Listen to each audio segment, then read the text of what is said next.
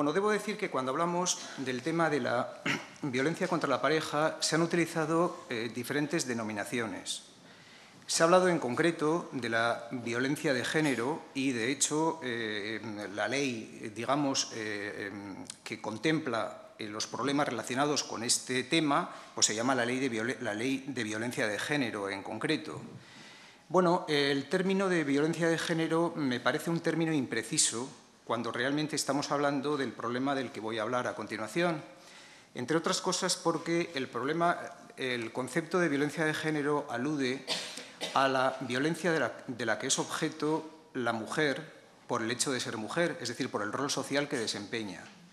Y desde este punto de vista, en ese concepto de violencia de género se incluyen muchas cosas. Se incluye la violencia contra la pareja, pero también se incluyen, por ejemplo, la violencia de la que es objeto la mujer por parte de personas desconocidas. Eh, en el caso, por ejemplo, de las violaciones sexuales eh, extrafamiliares, o otro, u otro tipo de violencias donde no hay una relación afectiva con la persona agresora, como es el caso de la trata de personas, eh, como es el caso del, acoso laboral, por ejemplo, etcétera. O tenemos el caso del abuso sexual intrafamiliar, de las que muy frecuentemente son víctimas las, las mujeres y que no tienen que ver realmente con ese tipo de relación que se establece entre miembros de la pareja. Por tanto, me parece un término inexacto y jurídicamente se aplica también de forma inexacta, porque se aplica solamente a aquellas personas eh, eh, con las que la víctima ha mantenido, mantiene o ha mantenido una relación de afecto con ellas.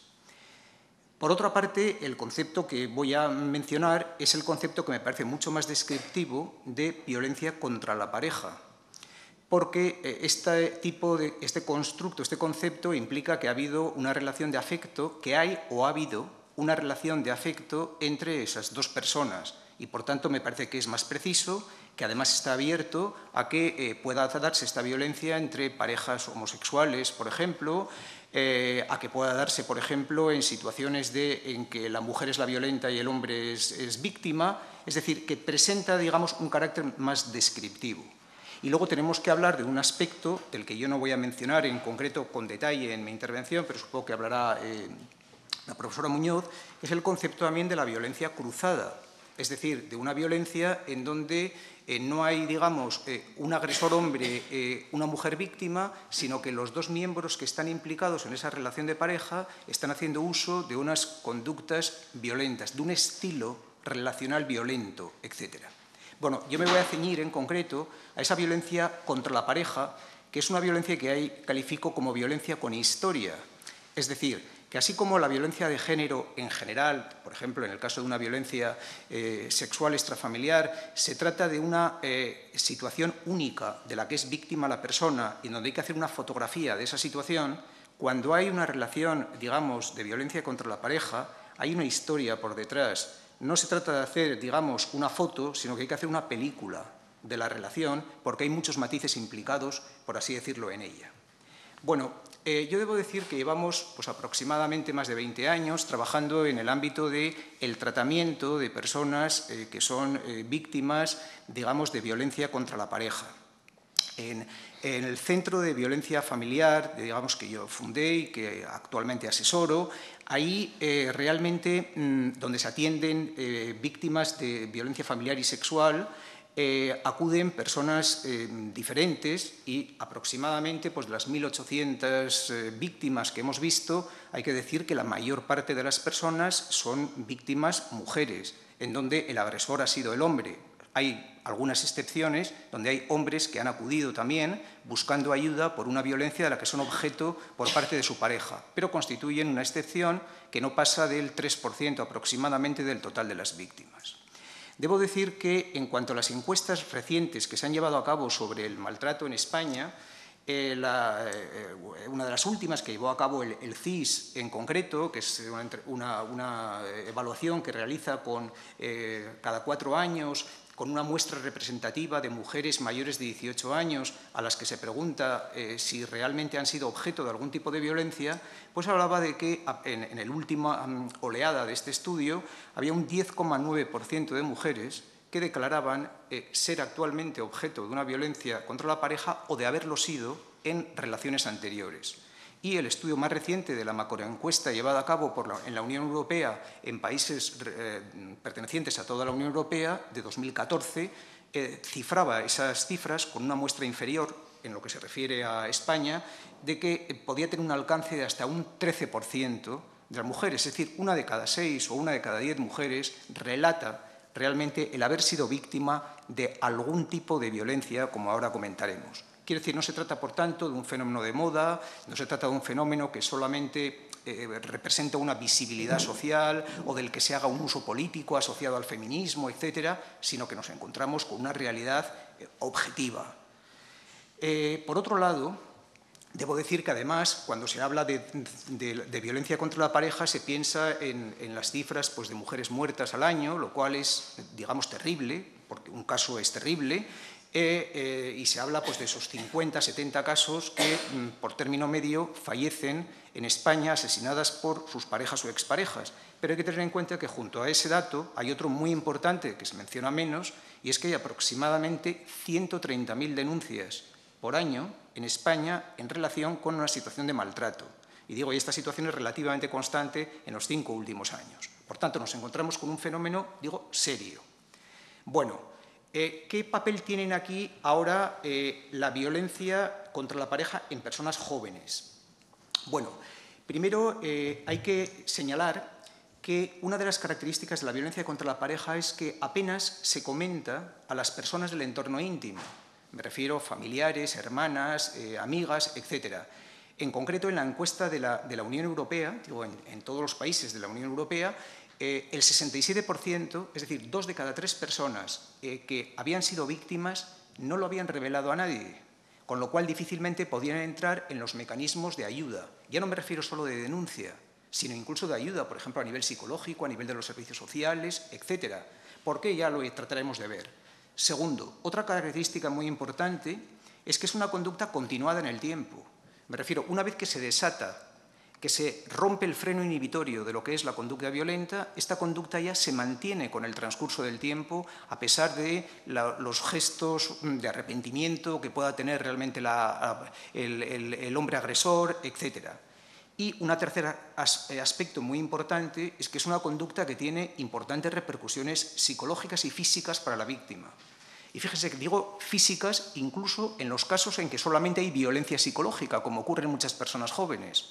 Quiero decir que la violencia psicológica no solo produce consecuencias psicológicas asociadas a problemas ansioso-depresivos, de malestar emocional, de, estrés postraumático, de aislamiento social, sino que incluso a nivel físico puede producir síntomas eh, asociados, por ejemplo, a dolores de cabeza, eh, fatiga, dificultades para dormir, problemas gastrointestinales, eh, a una disminución, digamos, de su sistema inmunitario que le hace más proclive a adquirir una serie de infecciones, etcétera, como consecuencia de un estrés continuado que mantiene con el transcurso del tiempo.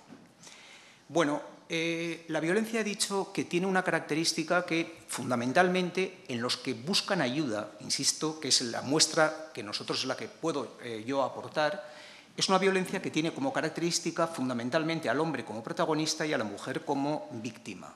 Esto tiene que ver bueno, con factores biológicos. Bueno, pues en, todas las, en todas las especies animales, el, digamos, el, macho tiene un, componente más agresivo que realmente la, la, hembra, pero por lo que a la especie humana se refiere, esta explicación pues, es muy limitada y está asociada a otra serie de factores.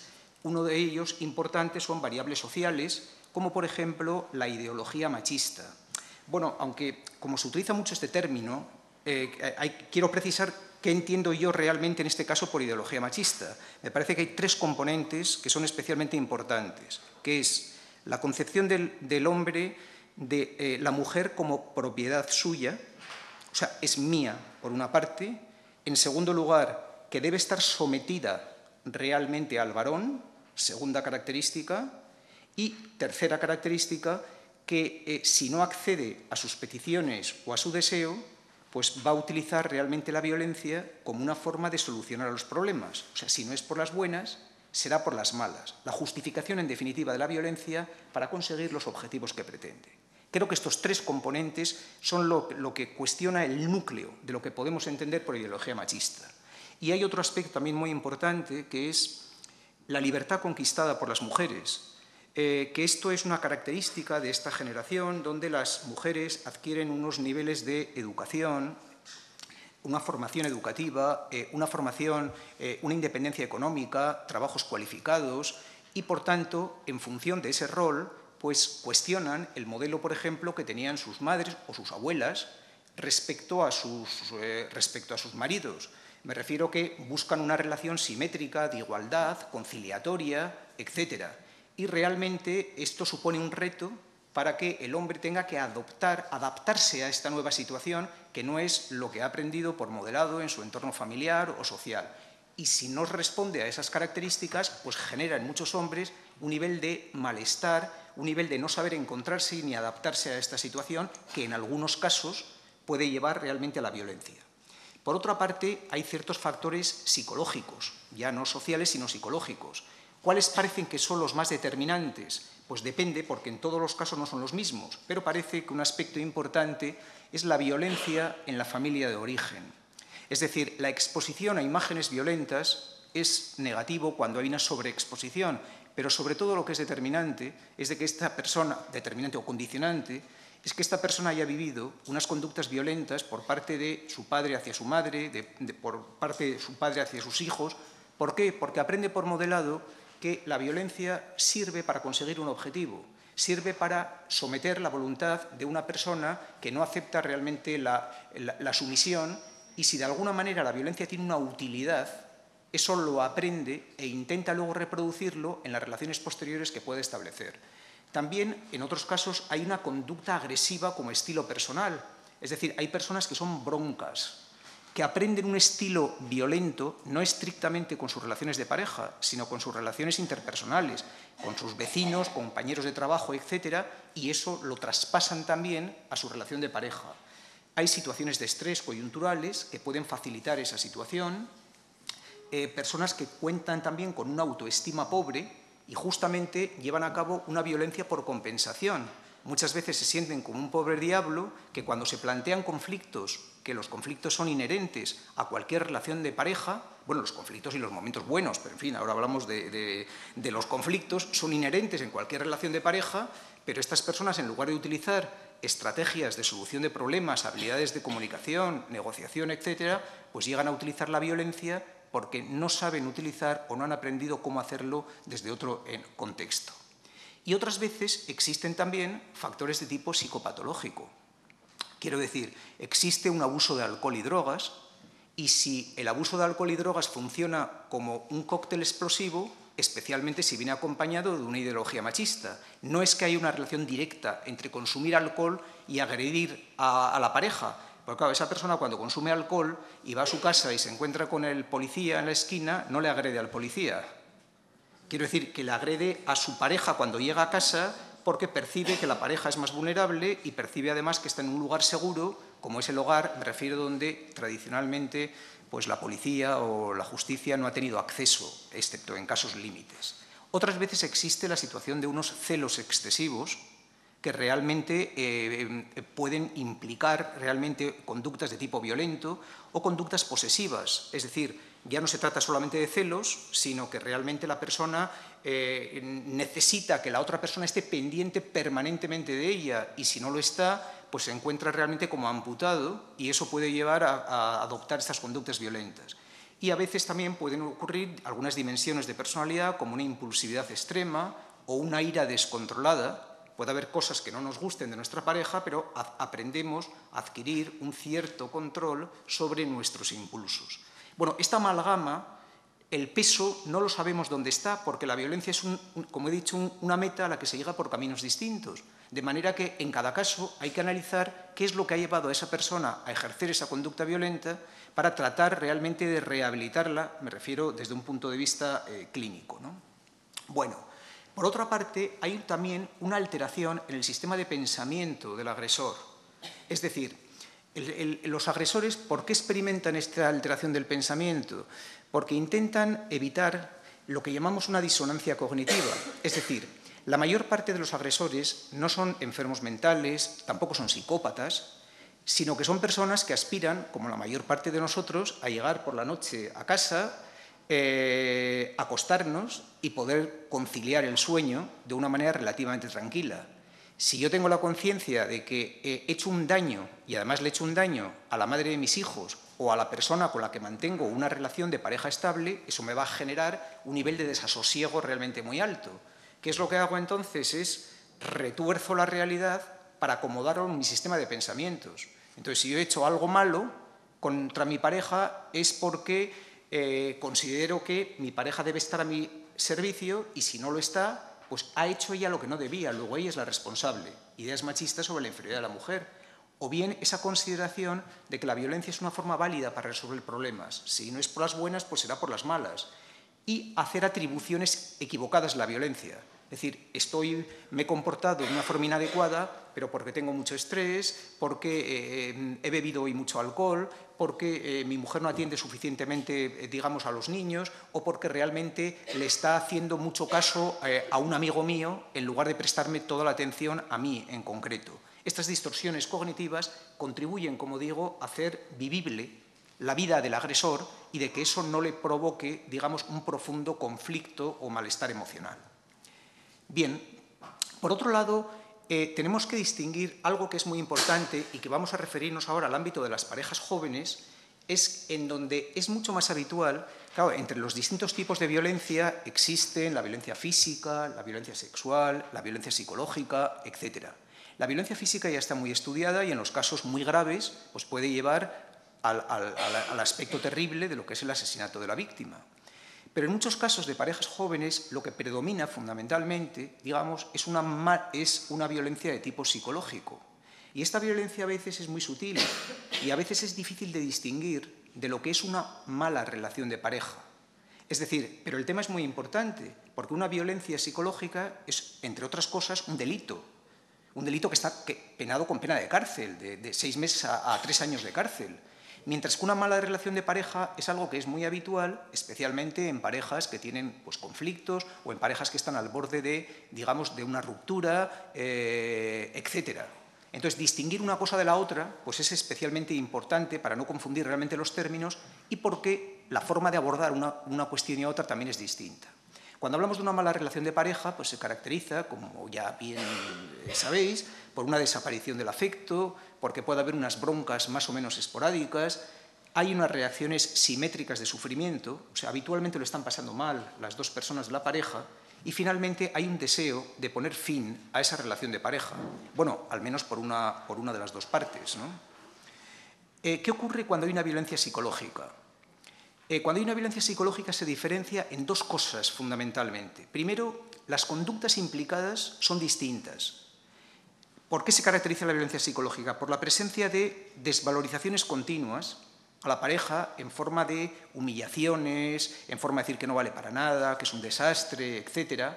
Por la presencia de amenazas, amenazas de otra índole, pues me voy a si tú me abandonas yo me voy a suicidar, por ejemplo, eh, por em, conductas degradantes, por ejemplo a nivel sexual, imponiéndole conductas que la persona, mm, por ejemplo, no desea, por conductas de restricción y de control, por ejemplo, impidiendo que pueda salir con sus amigas o impidiendo que pueda relacionarse pues, con otras personas, incluso hasta con, sus, hasta con sus familiares, exigiendo una dedicación exclusiva realmente al, agresor y cuando la pareja se ha roto, la, la, víctima, o sea, la víctima, me refiero a la mujer en este caso, decide poner punto final a ese tipo de relación de pareja, que aparezcan conductas de acoso y de ciberacoso. Bueno, no es cuestión de insistencia, porque algunos son un poco insistentes, sino que estamos hablando que una cosa es la insistencia y otra cosa es el acoso o el ciberacoso pues, a través de las redes sociales, como ya se ha ido comentando a lo largo de la jornada de hoy. Esto diferencia lo que es la violencia psicológica de lo que es una mala relación de pareja. Pero es que además las consecuencias también son distintas. Me refiero, cuando una persona tiene una mala relación de pareja y se rompe esa relación y es ella la persona que no desea poner fin a esa relación, sino que la pone la otra persona, habitualmente tiene un nivel de sufrimiento y tiene un nivel de malestar emocional. Pero la mayor parte de las personas tenemos una capacidad de afrontamiento para hacer frente de forma natural, cuando digo de forma natural me refiero con nuestros recursos psicológicos, con nuestro apoyo familiar, con nuestro apoyo social, a las situaciones de malestar. Quiere decir que afortunadamente la mayor parte de las personas que, han roto con su pareja, bueno, esto ocurre hasta en las mejores familias, pues realmente no acuden, eh, no, acuden donde un psicólogo realmente para, para que se les trate de ese problema, excepto que esas personas tengan algunas vulnerabilidades previas, me refiero a inestabilidad emocional, problemas ansioso-depresivos, eh, un historial complicado, la mayor parte de las personas lo resuelve con sus problemas. En cambio, cuando hay un nivel de violencia psicológica, esta situación desborda muchas veces los recursos psicológicos de que dispone una persona. Y entonces, frecuentemente, estas consecuencias que produce a nivel psicopatológico me refiero de depresión, de ansiedad, malestar emocional, abuso de alcohol o drogas o automedicación no controlada, por así decirlo, desbordan esas características y denotan que hay un sufrimiento emocional, porque las personas no estamos acostumbradas, no tenemos en nuestro repertorio de conductas unos, mecanismos adaptativos para hacer frente a una situación tan anómala como es la violencia en concreto. Eh, dicho esto, quería por tanto eso señalar como un aspecto especialmente importante. Miren si es importante lo de las consecuencias, que en fin, aunque no voy a entrar ahora en darles detalles de demasiado de nuestras investigaciones, que están publicadas en distintas revistas, pero sí hay un dato que quería solamente señalarles. Miren, cuando todas las personas que son víctimas de maltrato físico son víctimas también de maltrato psicológico, pero no ocurre al revés. O sea que hay personas que solo son víctimas de maltrato psicológico y buscan ayuda por ello. Digo, buscan ayuda porque este es el marco en que nosotros hemos hecho el estudio. Entonces resulta que de las personas que presentan en concreto uno de los cuadros clínicos más eh, significativos y que más malestar emocional genera, como es el trastorno de estrés postraumático, el 55% eh, de las víctimas, un poco más de la mitad, de maltrato físico presentan este cuadro clínico. Pero de aquellas que presentan un maltrato solo psicológico, lo presentan este cuadro clínico un 54,4%. Es decir, que el maltrato psicológico no es menos grave desde el punto de vista psicológico, no hablo jurídico, respecto a las repercusiones que tiene. Y por tanto no es un juego de niños, sino que es un problema que está afectando seriamente a la calidad de vida de eh, una persona. ¿Y qué ocurre especialmente en las parejas jóvenes? Bueno, pues que se produce lo que llamamos una violencia psicológica de control, donde hay implicadas una serie de conductas, eh, como pueden ser el, eh, impedir relacionarse con los amigos, tratar de evitar la relación de la víctima con la familia, eh, utilizar conductas controladoras a través del WhatsApp, el eh, llevar a cabo, tener sospechas injustificadas de infidelidad, bueno, si son justificadas entonces tiene otro nombre, pero en fin, estamos hablando de las sospechas injustificadas de infidelidad, la revelación de secretos e intimidades, por ejemplo, en relación con su familia, etcétera, que la persona haga una revelación de eso sin contar con la intimidad de su pareja, y eso lo comunica a través de las redes sociales o eh, verbalmente, pero especialmente a través de las redes sociales, y también la presencia de conductas de acoso cuando se produce una ruptura. Esto afecta, como digo, a este tipo de conductas específicamente a parejas jóvenes y adolescentes. Bueno, este eh, para llegar a una violencia psicológica, que es lo que estamos ahora analizando, eh, uno no se acuesta, digamos, teniendo una relación de pareja normal y al día siguiente aparece una relación de pareja violenta. Esto es resultado de un proceso. Ese proceso tiene unas características determinadas. Se trata de un fenómeno reiterado y habitual donde hay una proximidad temporal, es decir, las conductas de humillación, etcétera, que antes me refería, por ejemplo, o de amenazas, se van repitiendo en el tiempo cada vez con mayor frecuencia, no son hechos puntuales. Y por otra parte ya la violencia se constituye en un estilo habitual de relación ya es la forma en que se relacionan entre ellos, ya no es solamente de momentos malos o momentos críticos que pueda tener una persona. Y la violencia se va instalando de una forma gradual y sutil.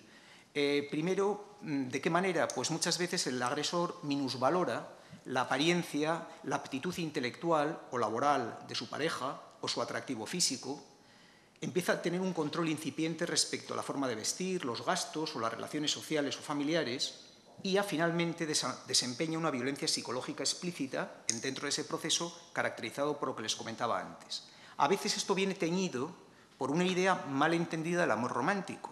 Bueno, el amor romántico no, no es que sea algo malo, bueno, es que no conozco ningún amor que no sea romántico. Lo que, lo, que, lo, que, es negativo es el concepto equivocado del amor romántico cuando uno piensa pues, que esta es la pareja de mi vida, eh, que yo voy a conseguir, eh, sin, sin, esta pareja mi vida va a estar eh, por completo frustrada, él cambiará con el paso del tiempo, etc. O sea, esos mitos relacionados con esa idea malentendida del amor romántico pueden mantener en la víctima esta situación. Eh, quiero decir que cuando estamos hablando de la violencia psicológica hay un fenómeno que es intrigante y es que en ocasiones eh, he dicho antes que para que haya violencia física tiene que haber habido previamente una violencia psicológica, pero hay veces en que una persona se mantiene ejerciendo la violencia psicológica sin dar el salto a la violencia física. Mm, parece que eso tiene que ver con factores educacionales y tiene que ver con aspectos de control inhibitorio. Me refiero a las personas más socializadas tienen más dificultades y más repugnancia a implicarse en conductas de violencia física y pueden mantenerse a lo mejor dentro de un ámbito de una violencia psicológica. Pero en ocasiones quiero decir que este es el primer peldaño para pasar luego a otro tipo de, de violencia. Bueno, lo que nos planteamos siempre es un hecho llamativo. Nosotros, digo, al margen del entorno judicial, me refiero en un entorno terapéutico, nos llama la atención que en personas jóvenes, me refiero de personas de menos de 30 años, que presentan eh, unas relaciones de emparejamiento, a lo mejor desde hace cinco años o cuatro o cinco años, que cuando vienen a buscar ayuda tienen un historial, digamos, de conductas de maltrato, de conductas de violencia psicológica de hace más de tres años. Entonces nos resulta sorprendente, y claro, resulta sorprendente a muchas personas, explicar el por qué eso emerge tan tarde. O sea, por qué han estado aguantando situaciones casi cercanas a la tortura y además muchas veces en silencio. Me refiero sin que lo hayan revelado al exterior durante un periodo de tiempo tan grande.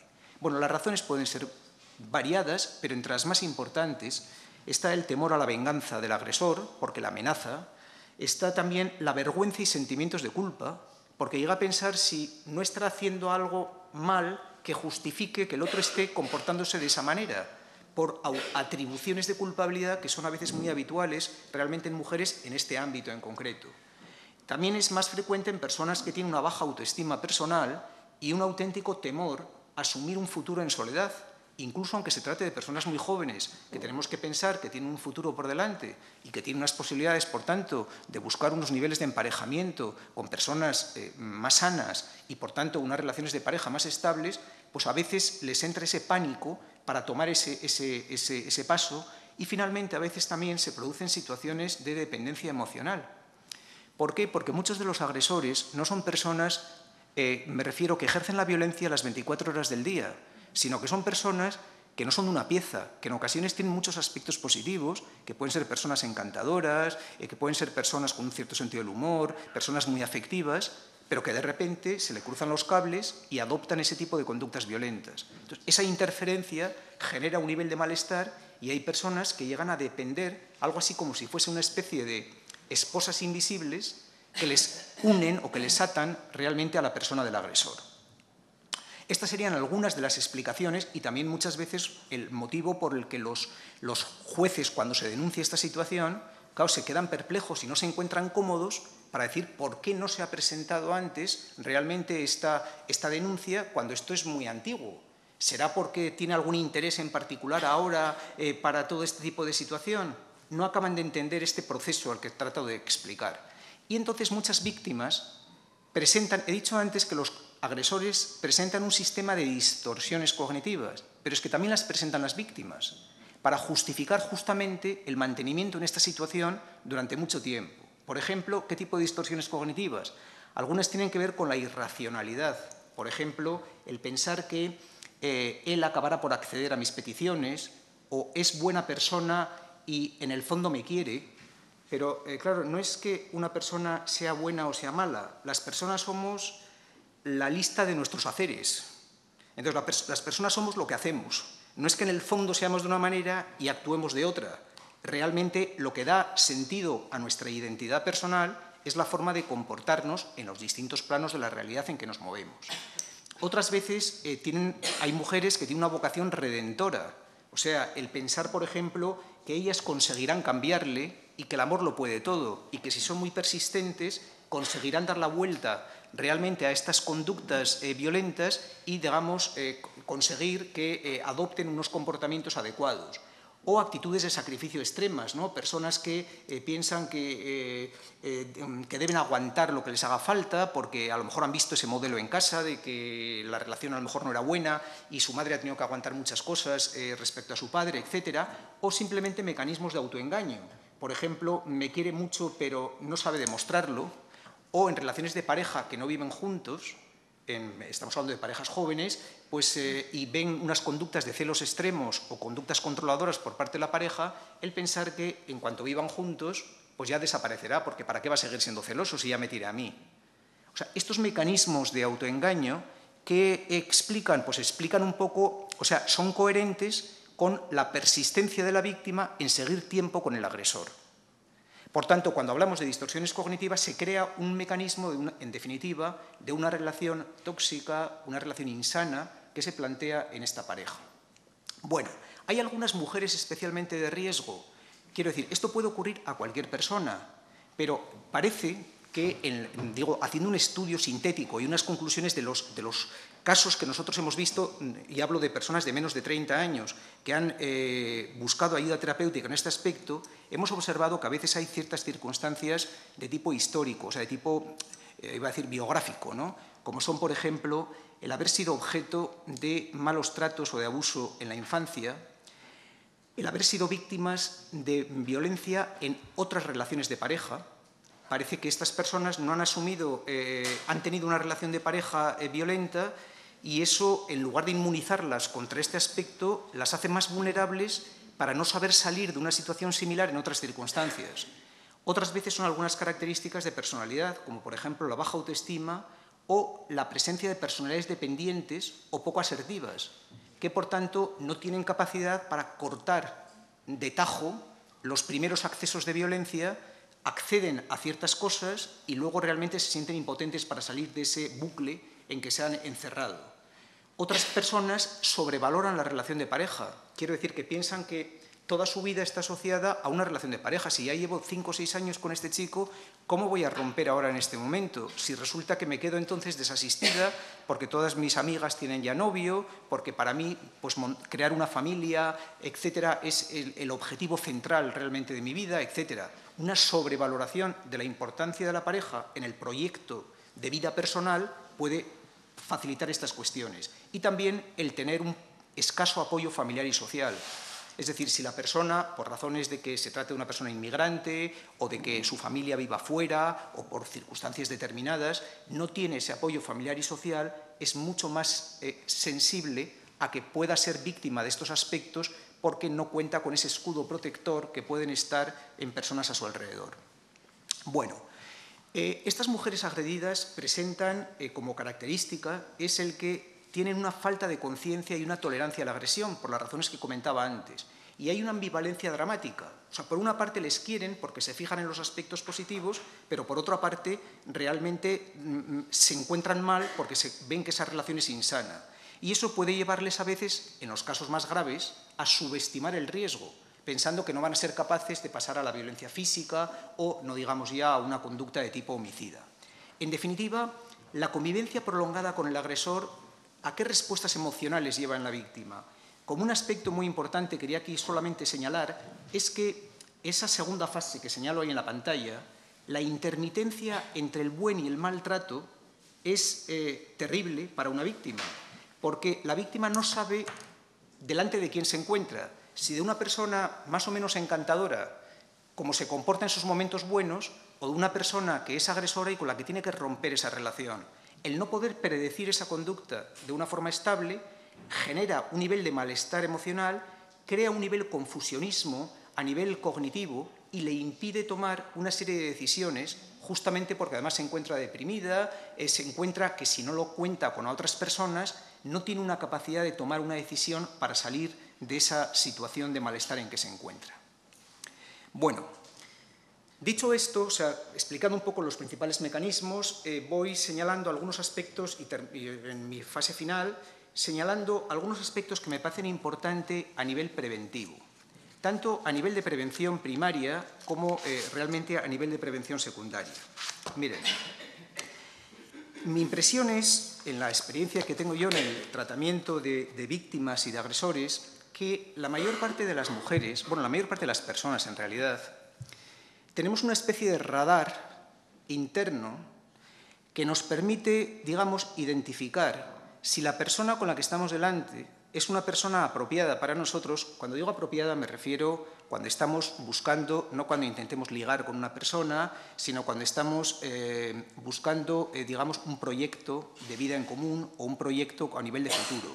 Digo, tenemos una especie de radar para distinguir si algo nos conviene o algo no nos conviene. No tenemos una bola de cristal, pero sí un cierto radar para poder predecir esas conductas. La prevención primaria es especialmente importante porque en este momento la ruptura de esa relación, en el caso de que no sea conveniente, tiene muchas menos hipotecas. Me refiero, no hay hijos de por medio, en ocasiones no están conviviendo juntos, no tiene una hipoteca en el sentido literal del término económica respecto a la vivienda, etcétera, con lo cual es una ruptura mucho más limpia, por así decirlo, que si no es el caso. Bien, en esa prevención primaria hay personas que pueden distinguir ciertas señales de riesgo. ¿Cuáles son estas señales de riesgo? A través de ese radar que estoy hablando. Son fundamentalmente la presencia de accesos de cólera. Quiero decir que si una persona se puede enfadar en un momento determinado, pero si los accesos de cólera constituyen ya una pauta de conducta frecuente, si la otra persona presenta amistades poco estables, quiero decir que desde su infancia, adolescencia y primera juventud no es capaz de poder establecer unas relaciones de amistad, sino que habla mal de la gente, acaba tarifando o enfadándose con, distintas personas, bueno, no con distintas, sino con todas las personas que han aparecido en su entorno, pues eso es una mala señal respecto a esa estabilidad emocional en el aspecto relacional. También lo es si la persona se implica en conductas de crueldad o de humillación, de crueldad a lo mejor con sus padres o con sus hermanos, eh, o conductas de humillación pues, respecto a otras personas a las que percibe como más débiles. No me refiero ya solo a la víctima. Si la persona le parece normal adoptar comportamientos de crueldad o humillación ante personas determinadas, es probablemente un indicador de que es muy difícil que se pueda mantener una relación estable emocionalmente de forma simétrica y sana.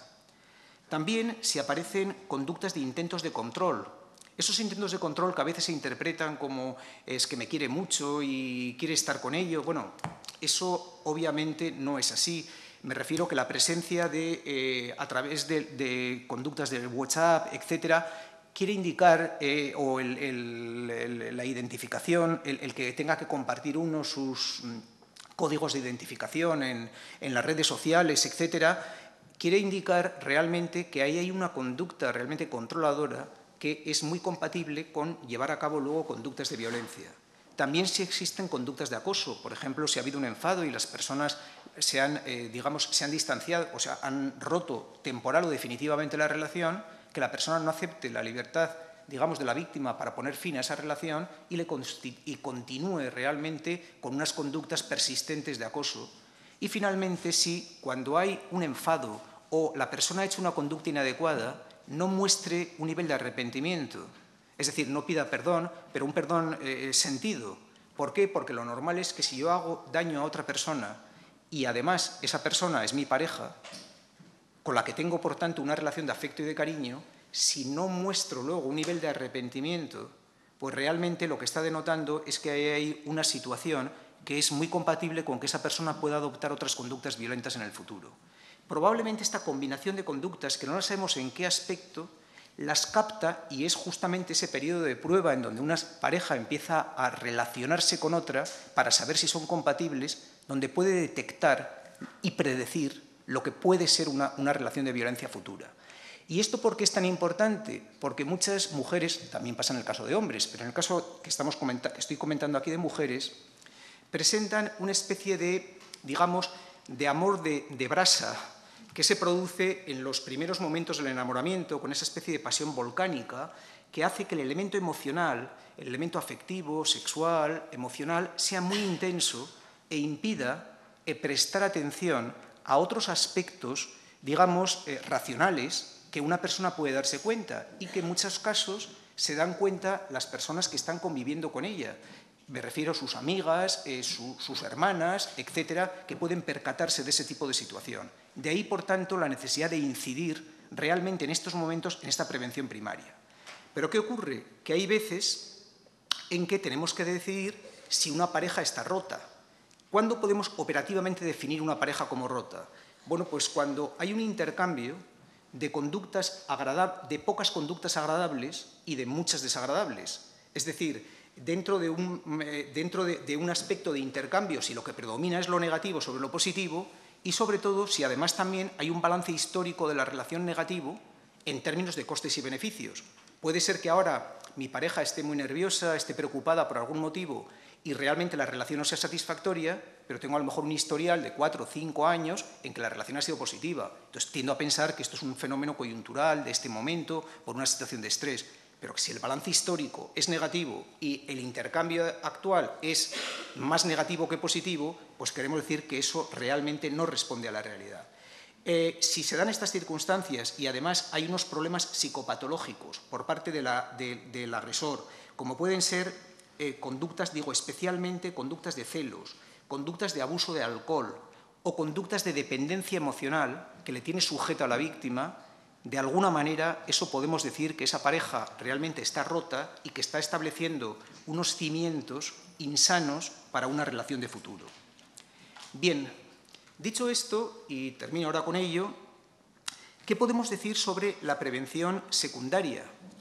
Es decir, la prevención secundaria estamos hablando de cuando ya se produce, esa, pareja está conviviendo, se ha detectado ya el problema de violencia, por tanto ya se ha desencadenado, ya no, estamos previniendo primariamente, pues siempre hay cosas que se pueden hacer.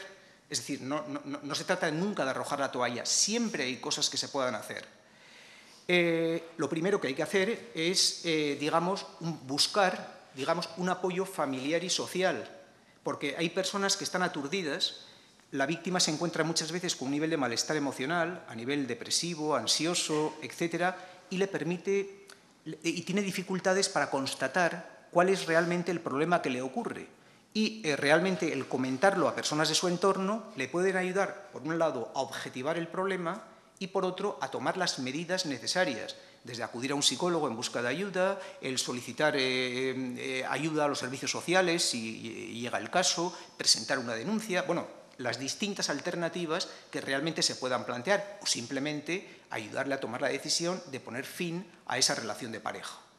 Y lo que parece importante es solicitar, digamos, esa ayuda cuanto antes, esa ayuda a los diferentes niveles, depende de cuál sea el caso, cuanto antes. ¿Por qué? Porque este es un efecto de bola de nieve. Cuanto más tiempo vaya transcurriendo, más se va complicando la situación. Pero incluso aunque lleve mucho tiempo, siempre hay algo que hacer.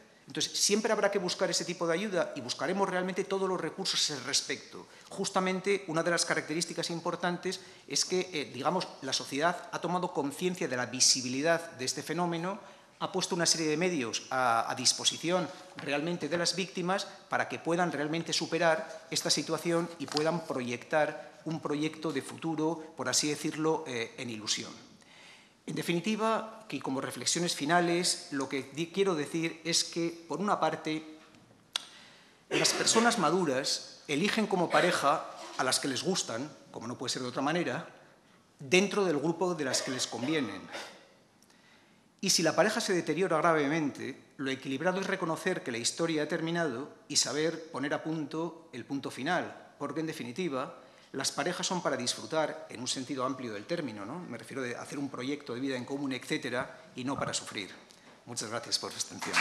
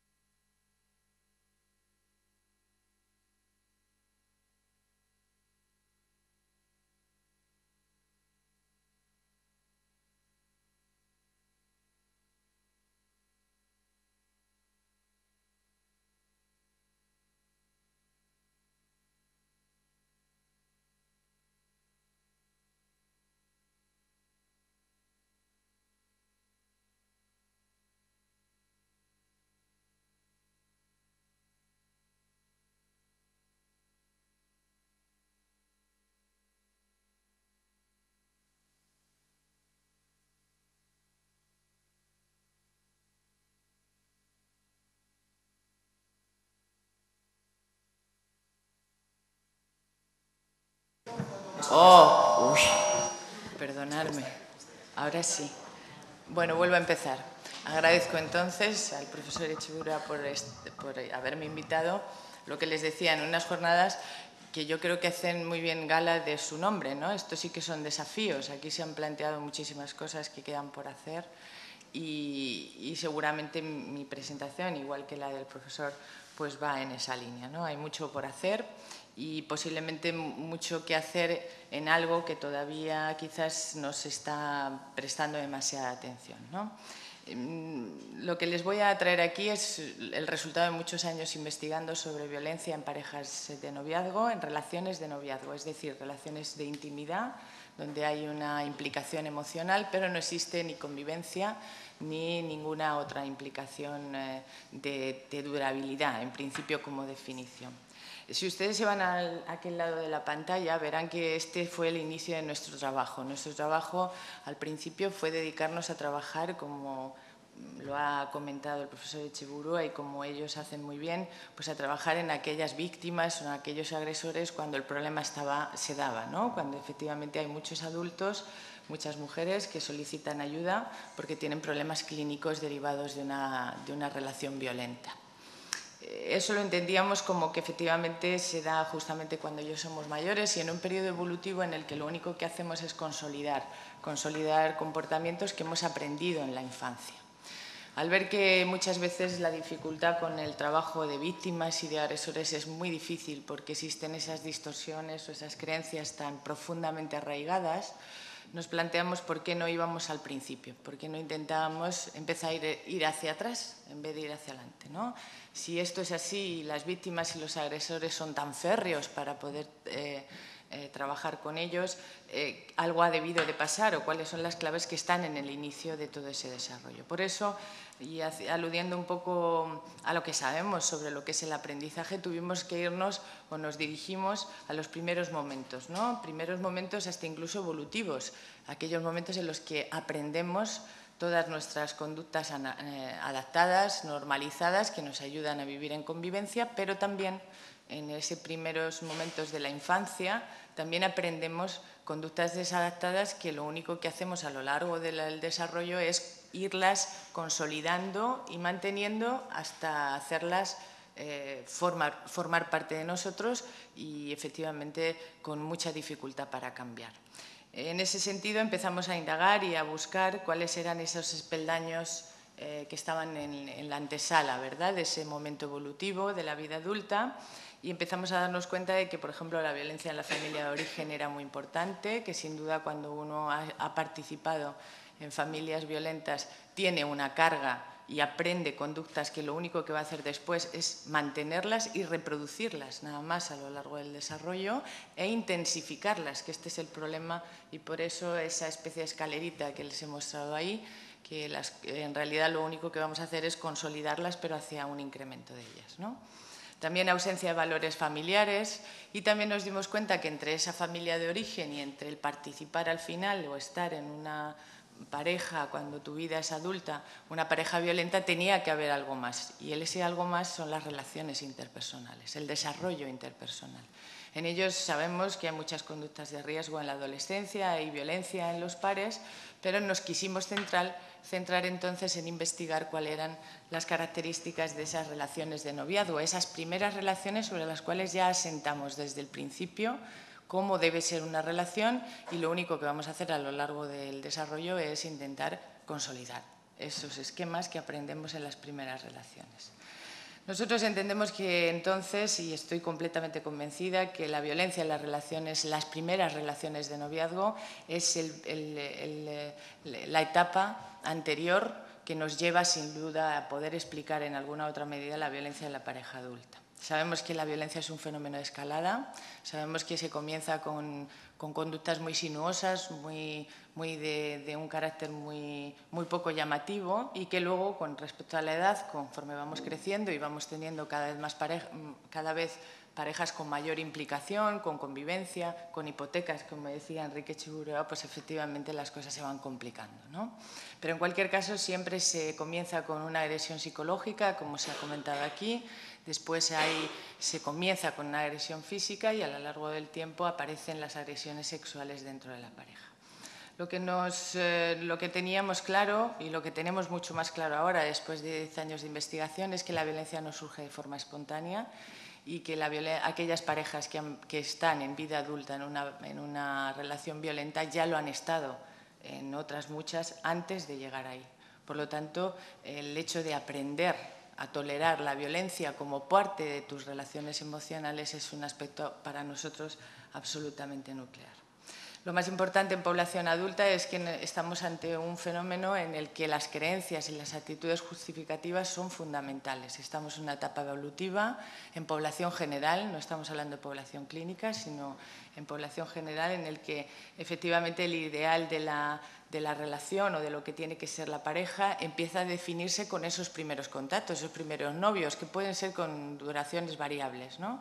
Pero en cualquier caso, todo lo que acontece en esas primeras experiencias es lo que nosotros vamos integrando en ese esquema de lo que es una relación de pareja. Si en esos primeros contactos hay violencia, no dejaremos entonces de hacer algo que es absolutamente normal y muy justificado por principios de aprendizaje. Lo integraremos en nuestro comportamiento y lo normalizaremos como algo absolutamente justificado y además propio, inherente a las relaciones de pareja.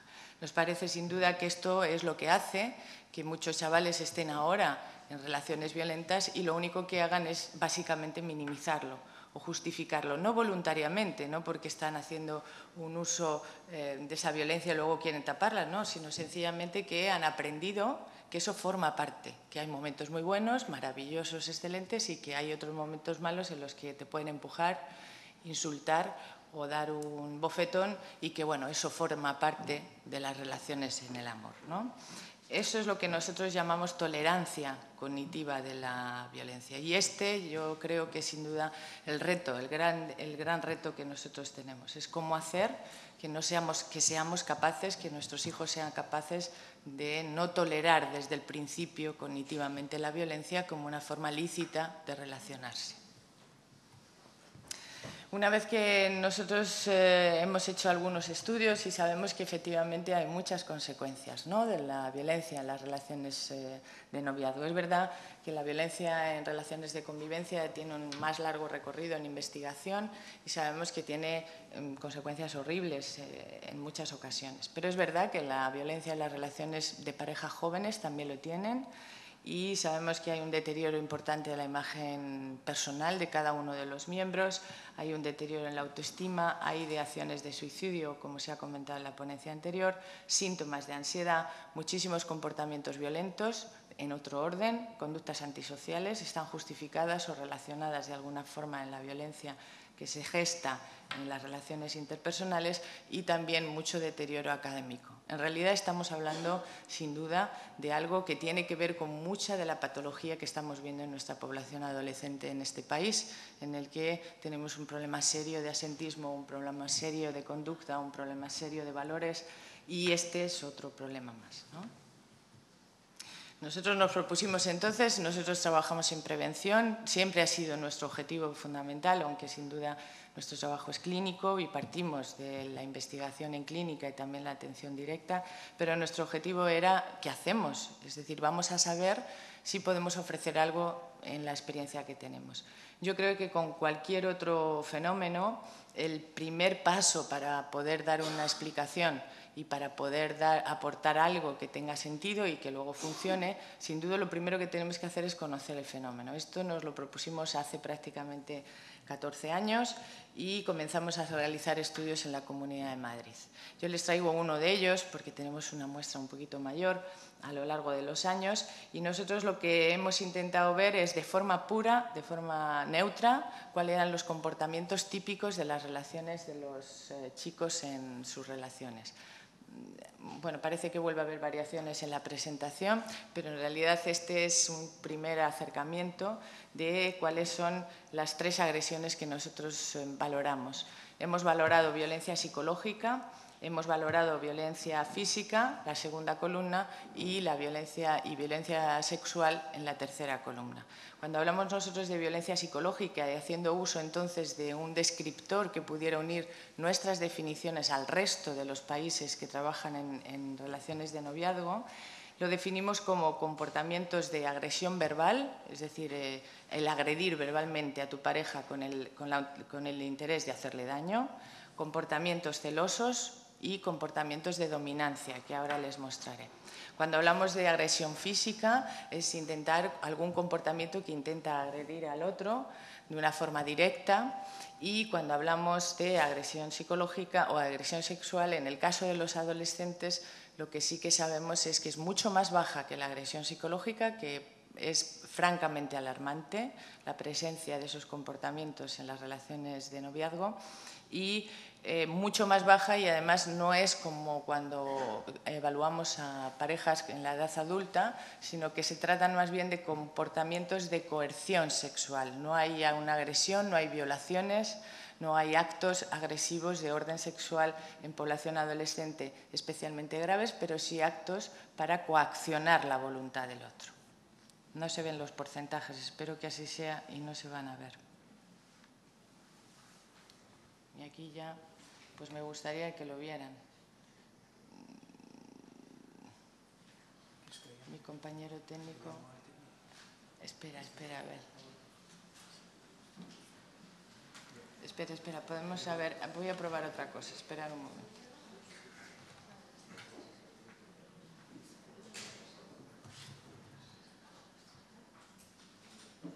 ¿Esto cómo era?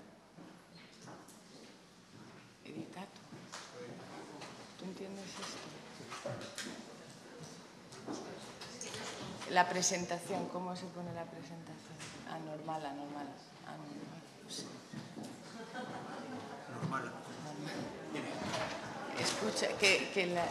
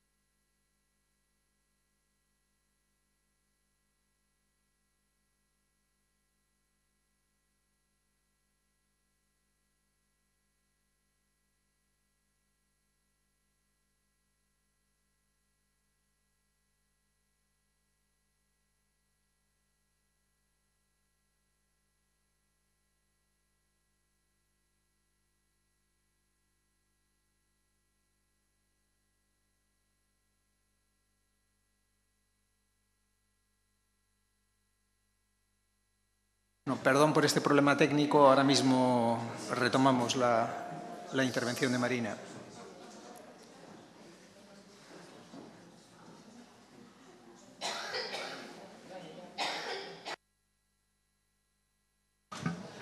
Bueno, pues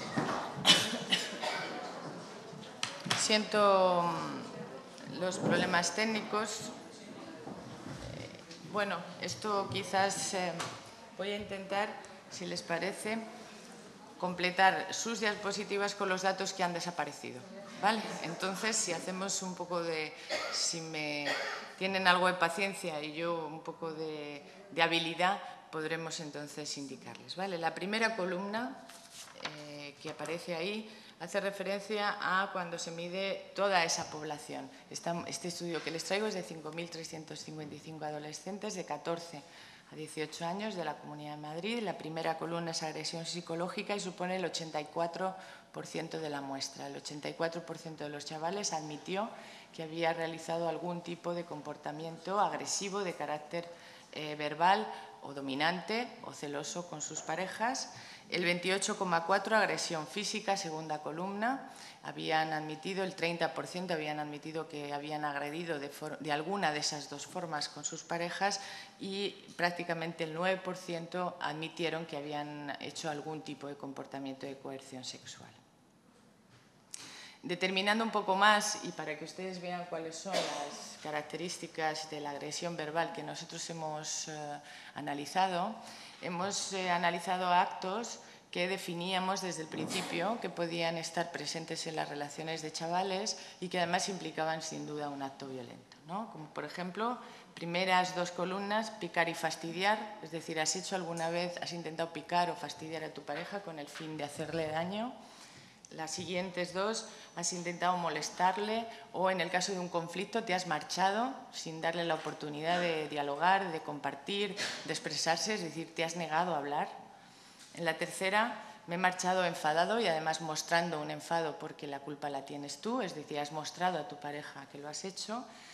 Eh, la, penúltima, has insultado alguna vez a tu pareja y en la última la has amenazado con golpearla en algún momento de alguna discusión. Eh, los colores hacen referencia al rosa a las mujeres, el, azul a los hombres y eso creo que se mantiene. Y puedo decirles que prácticamente en la primera columna el 82% de las mujeres y el 75% de los varones admitió que alguna vez había picado o fastidiado a alguien. En cuanto a molestar o negarse a, hablar, negarse a hablar, el 72,8% de las mujeres y el 68,8% de los varones. En el caso del insulto, el 55,5% de las mujeres admitían que habían insultado con el fin de hacer daño a sus parejas, pero también lo admitían, el 43% lo admitían hacer eso mismo los varones. En el caso de la violencia, de la agresión verbal, como pueden darse cuenta, es absolutamente llamativa los porcentajes de chavales que admiten haber hecho cualquiera de esas conductas son resultados que no solamente hemos llegado a, reproducir sistemáticamente en más de 8.500 adolescentes que tenemos valorados en, la Comunidad de Madrid, los datos son exactamente, pueden, pueden variar porcentaje arriba, un porcentaje abajo, y son exactamente iguales en estudios comparativos con aquellos que se han extraído de otros países, como Estados Unidos o Inglaterra, en los que hemos realizado los mismos estudios, con los mismos instrumentos de evaluación y en el mismo sector poblacional. De forma que esto nos confirma que la agresión verbal es absolutamente, está permanentemente eh, presente en las relaciones de pareja y no hay, como ustedes ven, no existen, y en el caso de la agresión verbal mucho menos, no hay diferencias significativas por sexos. Es decir, son altos porcentajes tanto para varones como mujeres. La violencia entonces de pareja, la violencia en relaciones de noviazgo, como van a poder ver, es una violencia recíproca, es una violencia dos a dos. Igual que uno de ellos puede ser víctima en algunos momentos, pero también puede ser agresor y el otro miembro de la pareja es víctima y agresor al mismo tiempo. Se trata de una violencia, como decía el profesor Echeburua, cruzada, es una, una violencia bidireccional. En el caso del eh, comportamiento celoso, que es la diapositiva que ustedes tienen, el 71,5 de las mujeres y el 59,3 de, los varones, primeras dos columnas, admitían estar celoso de otros. Es decir, haber, haber estado celoso de otras personas con respecto a su pareja, sospechar de, de, los amigos en las dos columnas aproximadamente el 55% lo había hecho en algún momento, había comprobado, exigido explicaciones, la tercera de las columnas, el 41% de las mujeres y el 34,2% de los varones, y acusar al otro de salir con otras personas desconocidas, en los dos casos el 12,4% de la muestra. Nuevamente, el comportamiento celoso es un comportamiento predominante en las relaciones de noviazgo y además es un, es un, comportamiento que en nuestros estudios y en, una población general y en población adolescente es un, es un, comportamiento mucho más vehiculizado por las mujeres. Esto no significa que los varones no lo sean, sino que cuando se hace un análisis estadístico de los datos, entonces hay una preferencia de esos comportamientos en las mujeres. Yo creo que en este momento, y además casi nos va a venir bien si se dan cuenta que no haya números aquí, porque quizás esta es la idea, que tenemos que salir todos con ellas de la cabeza. Estamos hablando de dos columnas, de dos miembros de la pareja, de dos sexos, pero altas, extremadamente altas dos a dos.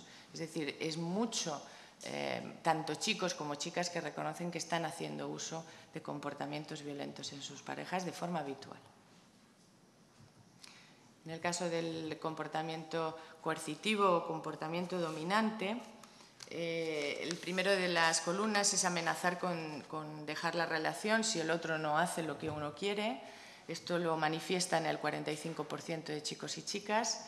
Culpar a otro de los propios problemas. El 24,1 y el 23% de los varones eh, admiten hacerlo. Culpar al otro de los problemas que uno tiene en casa, en el colegio, en el rendimiento, siempre la culpa lo tiene el otro, ¿no? intentando de alguna forma eh, cargarles ¿no? con sus malestares, sus propios malestares. Amenazar con irse con otro, lo hacen aproximadamente el 20% de la muestra. Poner a la familia en contra, eh, aproximadamente el 4% de la muestra, y no dejar ver a la familia, intentando que se queden solo dentro de la relación amorosa. El 3,9% eh, de las mujeres admite hacerlo y el 6,4% de los varones admite hacerlo. Este, dentro de lo que es la variable comportamiento dominante, esta es una de las eh, conductas que es preferentemente eh, expresada por los varones, el intentar retirar a la chica o a su pareja, intentarla retirar de la familia en pro de una relación mucho más íntima y mucho más próxima. En cuanto a la agresión física, eh, los, los descriptores son empujar, que lo admiten hacerlo el 18,2 de las chicas y el 12,5 de los varones, abofetear, en el caso... ¿Ustedes leen las letritas? Sí. Entonces, abofetear el 9,5 de las mujeres y el 2,8 de los varones, patear o morder con el intento de hacer daño, el 9,1 de las chicas y el 4,9 de los varones, lanzar algún objeto el 7,3 de las chicas y el 5,2 de los varones y esta tendencia, como ven, es más preferente en el caso de las chicas, pero sujetar y golpear es mucho más, mucho más practicado, es una conducta mucho más prevalente cuando se trata de los chicos. Ellos tienden a sujetar, eh, a presionar, a no dejar libre a la otra persona si se quiere marchar y a golpearla con algún objeto con el fin de hacerle daño. Cuando nosotros trabajamos en población adolescente deben darse cuenta que nosotros valoramos siempre violencia grave y violencia leve, pero sistemáticamente la violencia grave no existe en población adolescente. Eso nos tiene que hacer entender que estamos ante un fenómeno de escalada. Estamos en los primeros pasos, donde hay mucha agresión verbal, muchísimo comportamiento dominante y celoso, entendido como natural, pero que todavía no hay consecuencias graves, todavía, porque estamos con chavales de 14 años, de 15, de 16. Eh, de hecho, por ejemplo, ahogar, dar una paliza con el fin de, acabar con la vida de otra persona o usar armas es prácticamente inexistente en nuestra población juvenil. Lo mismo ocurre en el resto de los países. esos comportamientos se incrementan con la edad. Nosotros tenemos estudios hasta los 28 años y a partir de los 22 aproximadamente, entonces empiezan a aparecer conductas de agresión física grave. Aparecen las palizas, aparecen las roturas, aparecen las consecuencias graves. Y de ahí increciendo, tiene una relación, eh, eh, es una relación ascendente ¿no? a la presencia de esas, de, esos, de esas agresiones yo creo que esto es un problema, porque estamos hablando de conductas de agresión física definidas como tal, pero que como no tienen consecuencias, como no son especialmente visibles, no llaman la atención a nadie ni hacen mm, posiblemente que muchas de las personas que estamos alrededor de esos chicos nos demos cuenta de que eso está sucediendo. En cuanto a la agresión sexual, eh, es mucho más eh, admitida por los chicos y si reconocen en mayor medida amenazar con terminar la relación en el caso de que su pareja no quiera darles beneficios sexuales. Eh, sí que reconocen que insisten muchísimo a su pareja hasta a veces sobrepasar límites de paciencia y de, normalidad, insistir por tener relaciones sexuales, reconocen haber utilizado las drogas o el alcohol para bajar las resistencias de su pareja y así poder tener beneficios sexuales, emborrachar o, presentarle drogas, y en cambio amenazar con el uso de la fuerza física y la fuerza física en sí, podría ser un acto de violación, son prácticamente inexistentes en, la muestra, en una muestra juvenil. En cuanto a las consecuencias, como le comentaba, eh, como, si se dan cuenta, eh, hemos valorado cortes o contusiones leves, eh, cortes o contusiones graves, rotura, un ojo morado, rotura de huesos, hospitalización, que son prácticamente inexistentes. Lo único que hay son pequeños cortes o contusiones leves que los mismos chicos, cuando son entrevistados, nos dicen que lo máximo que puede llegar es una tirita o ponerse un cuello de vuelto, un jersey de cuello vuelto, que eso es un moratón o una cosita que se pasa en poco tiempo.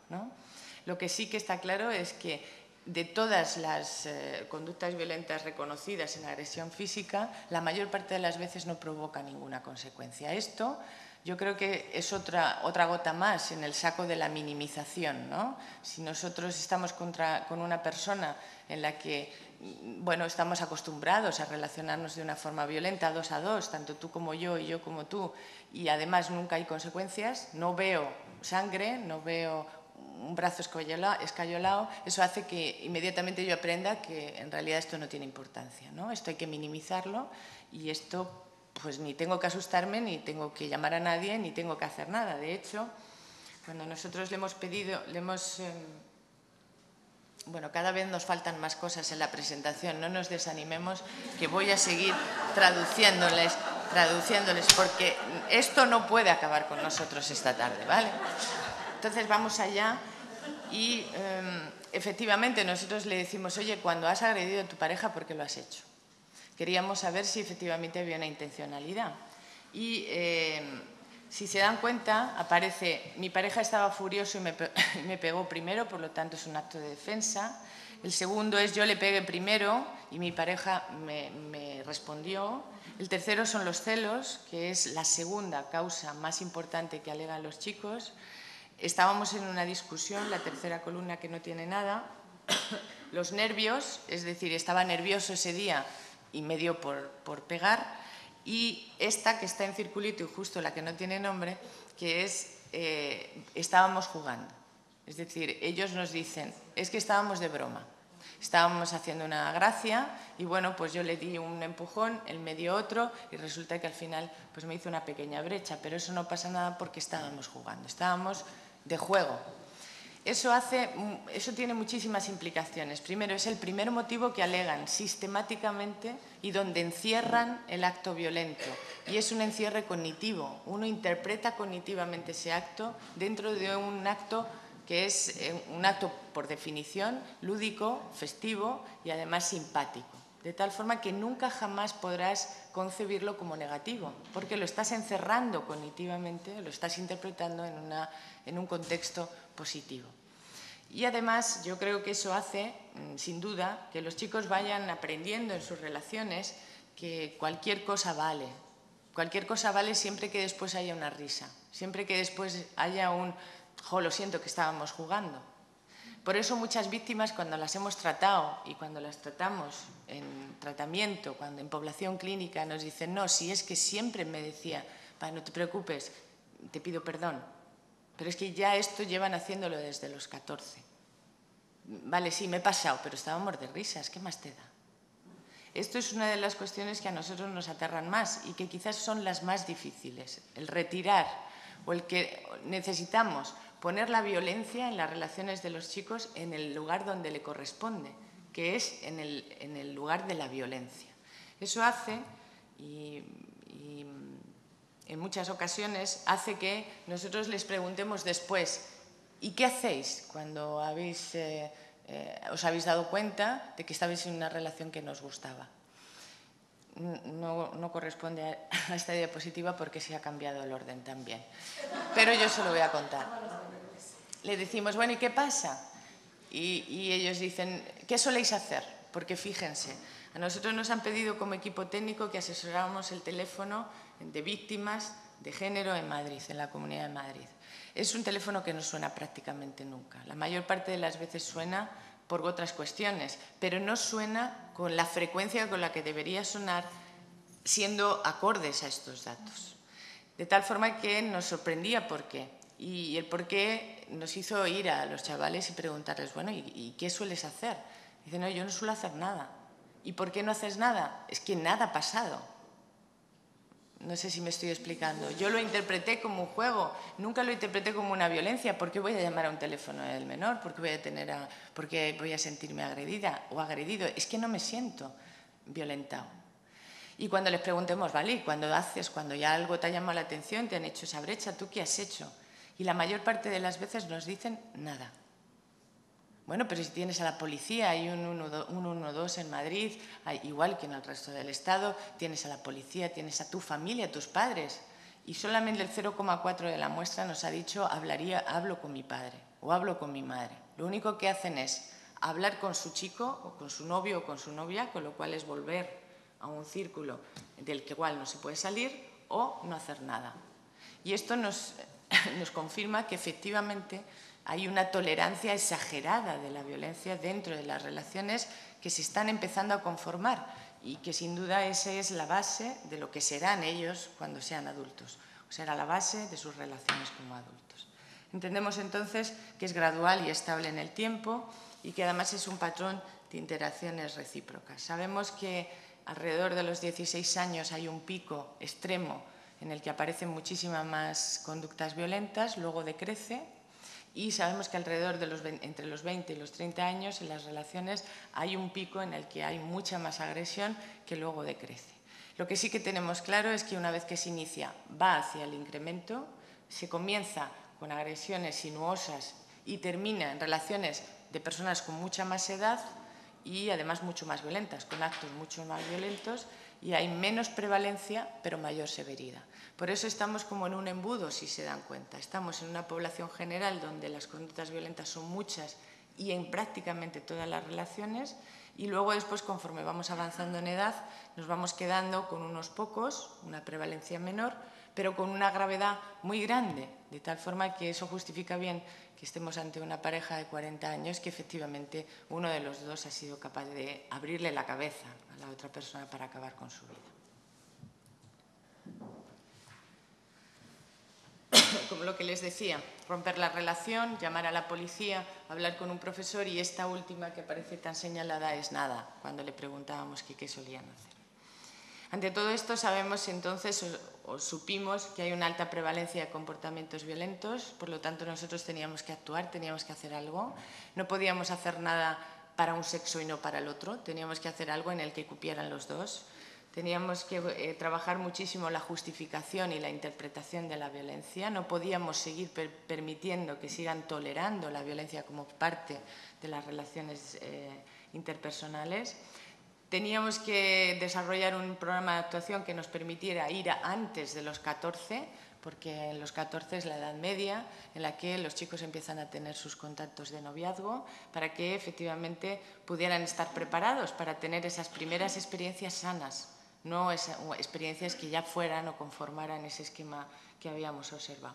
Y además teníamos que preparar a los chicos para que reconocieran la violencia, valoraran las consecuencias en su justa medida, porque una brecha es una brecha y un moratón es un moratón, y cuando han insultado a tu madre es un daño psicológico y emocional tan grande como una brecha física, eso teníamos que trabajarlo muy mucho, las consecuencias, pero también trabajar mucho, enseñarles a dónde tenían que ir que usaran esos recursos de ayuda que nos están, en el que hay muy buenos profesionales, mucho dinero invertido, pero muy pocas llamadas o muy pocos accesos de los chavales a ellos.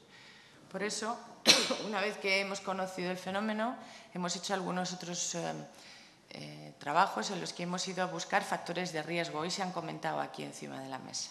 Es decir, por qué eh, uno o, esos chicos estaban entrando en esas relaciones violentas. Claro, nosotros hemos medido de, muchos factores en muchos contextos, en el contexto social, familiar, interpersonal e individual. Sin duda, el, contexto violento, y esto se ha repetido aquí a lo largo de, esta jornada, yo creo que solo recordarlo. Sin duda, el, que la sociedad aceptemos la violencia y aceptemos el insulto y aceptemos el, em, el darle algún empujón o mala cara o a nuestros hijos en nuestra propia casa, con nuestros compañeros, nuestra, en nuestra forma de vivir en el autobús, cuando corremos más rápido que la señora mayor para quitarle, para quitarle el asiento y además si podemos insultarla por lo bajini, pues también, pero es que eso lo hago yo, pero lo están haciendo o lo están viendo todos los que van en el autobús conmigo, pero nadie, nadie somos capaces de decir eso, no. Tolerancia cero.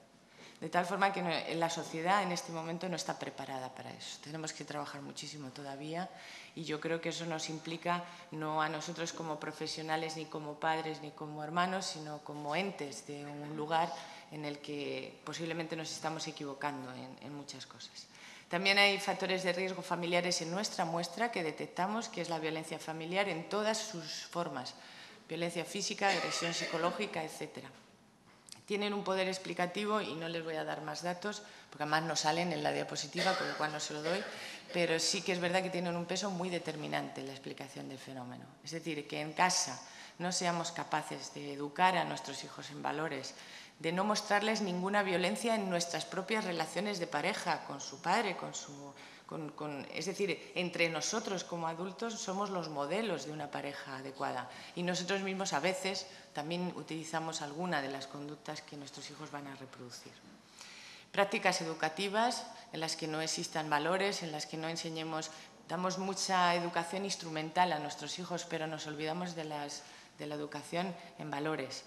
Y la educación en valores empieza desde bloquear un programa de televisión porque ahí se insulta y no permitirlo de una forma consciente y de una forma obvia, bloquear algunos mensajes de texto en los móviles o en los ordenadores de nuestros hijos que estamos viendo que utilizan términos que no son adecuados y muchas veces lo toleramos porque es común, porque no pasa nada, lo hacen todos los chavales, lo hacen todos los padres, pero normalizar una cosa no es quitarle importancia. Yo creo que normalizar una cosa es equivocarnos.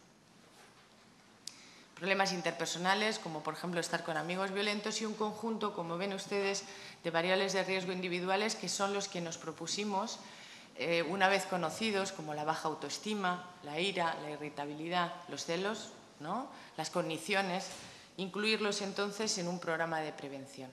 Nuestro objeto siempre en prevención ha sido no montar un programa de prevención teórico, no sirven para nada, ya está todo demostrado, sino que lo primero que hay que hacer es hacer un estudio empírico de la realidad donde lo quieres dirigir, después tienes que conocer qué variables explican el fenómeno y en tercer lugar empezar a montar un programa de prevención, pero ya solo con las variables que sabes a las que quieres dirigirte y que explican el problema.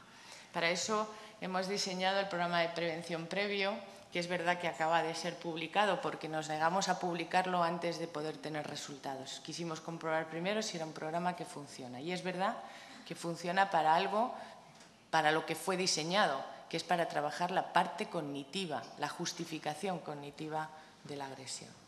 Es un programa que habla de habilidades, de actitudes y también de conocimientos. Se puede aplicar en tercero y cuarto de la ESO, hay actividades determinadas para niños más pequeños, para más mayores. Las sesiones las hemos desarrollado y están diseñadas para el horario de las tutorías, aunque se puede trabajar en cualquier otro momento y nosotros lo hemos llevado a, cabo por dos psicólogos formados en cada una de las tutorías. El programa consta de cuatro módulos. Fíjense que son solamente ocho sesiones de intervención. Unas eh, sesiones hacen referencia al módulo 1, en el que nos dedicamos a trabajar con ellos desde el principio, a definir la violencia, a trabajar durante horas que entiendan que insultar es agredir, que entiendan que empujar es agredir, que cuando uno quiere abofetear y dar una bofetada, mm, puede darla con toda la intención de herir, aunque luego interprete que es que era una broma, que es un segundo paso y lo único que hace es engañarnos a nosotros mismos. Ese acto en sí mismo es un acto violento. Trabajamos mucho con ellos en darles formación, que busquen información sobre la violencia Les damos muchos casos, tenemos casos clínicos que llevamos con nosotros que sirven de ejemplo para que se den cuenta, para sensibilizarles sobre un problema que ellos cuando llegamos a las aulas mm, prácticamente no saben de qué les vamos a hablar, porque resulta que cuando comenzamos a ninguno de ellos no saben por qué venimos a hacerlo, porque es que ninguno de los que estamos aquí tenemos nada que ver con eso.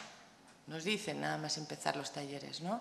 Qué cosa más rara, ¿para qué venís a esta clase si aquí nadie se agrede? Cuando empezamos a hablar en el primer módulo y le mandamos tareas para casa, vienen con cuadernos, con un blog de notas donde han anotado un montón de cosas que están viviendo sus vidas y que ahora sí que saben reconocer por primera vez que eso tiene un nombre y que eso no es amor, ni es respeto, que eso es agresión.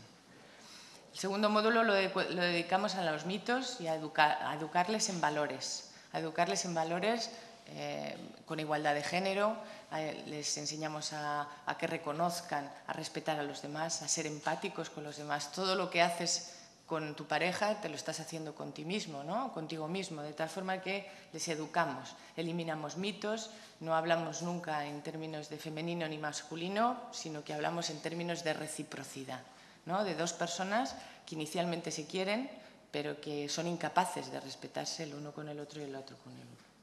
En el módulo 3 nos centramos en darles habilidades. Ahí trabajamos durante varias horas para darles habilidades de afrontamiento, que hacer en una discusión, les enseñamos a dialogar, les enseñamos a comunicar, trabajamos mucho el role-playing, les hacemos tareas para casa, trabajamos la empatía, la impulsividad, les enseñamos qué relación hay entre la impulsividad y agredir o ser violento.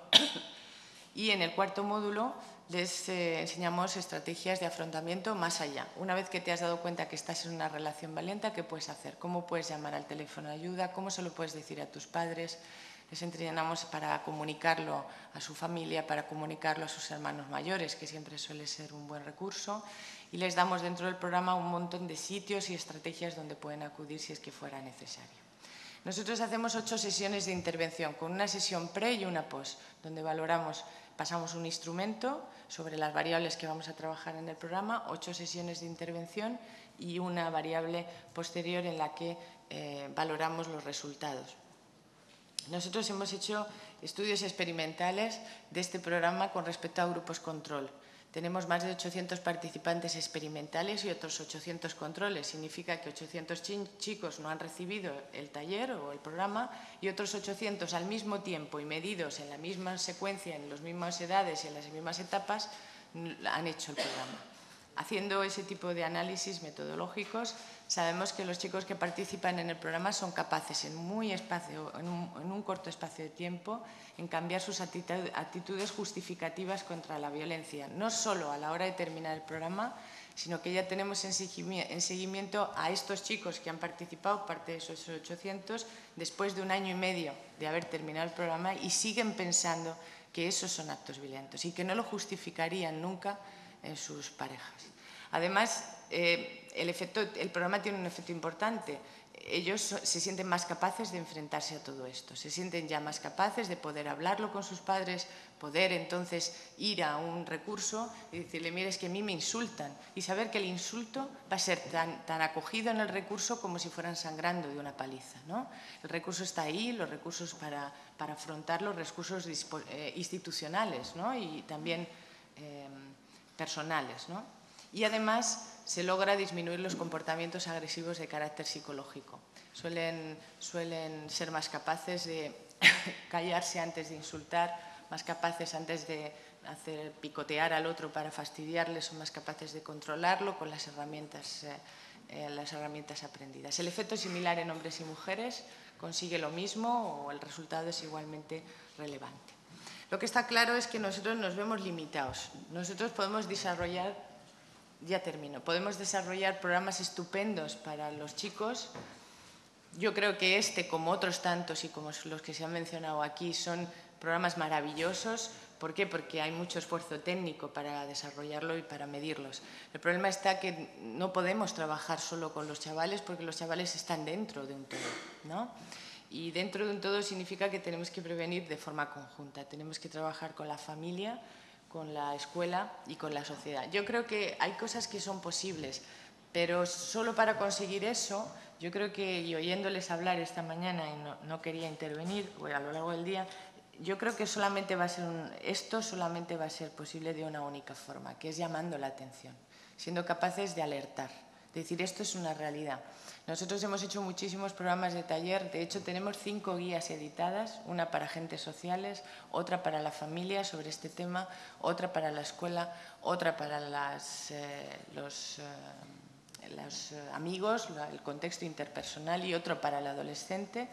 Hemos intentado llegar a las familias para ofrecérsela gratuitamente y hemos tenido muy poco éxito. Pero tampoco éxito como el que también tuvimos al principio cuando hacíamos escuela de talleres con el consumo de drogas en adolescentes, que todos los padres y todas las escuelas nos decían, no, no, a mí no me vengas a montar el programa ni me hagas talleres porque mi hijo no consume. Ahora son los padres los que vienen a llamarnos a las unidades clínicas y nos piden, por favor, atiende al, mío y a todos los que vienen detrás. ¿no? Pero hace 15 años era imposible llevar a un padre o imposible que un cole te dejara participar en un programa como ese. ¿Qué ocurre en este momento? Que tenemos muchos colegios voluntariosos, como ven, pero hay muchas escuelas que nos siguen diciendo, no, este programa no encaja en mi escuela, es que en mi escuela no hay violencia entre mis chavales.